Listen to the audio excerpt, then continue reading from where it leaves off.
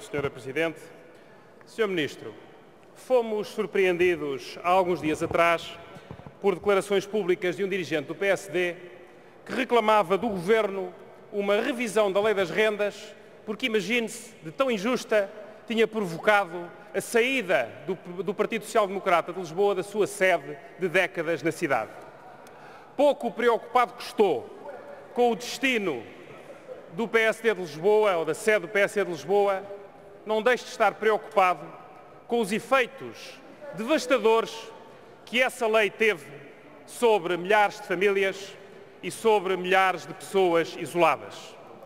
Mas também com os efeitos que essa lei teve, está a ter e vai ter sobre o comércio, sobre milhares de empresas, de pequenas empresas de comércio e sobre dezenas de milhares de empregados que trabalham nessas empresas.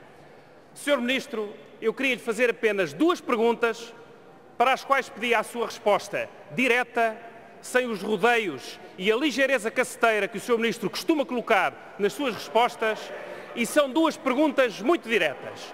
Em primeiro lugar, fez o Governo algum estudo sobre o impacto no emprego da aprovação desta nova lei das rendas?